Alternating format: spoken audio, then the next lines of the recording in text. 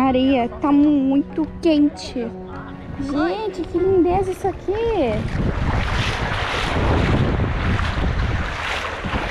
Uau.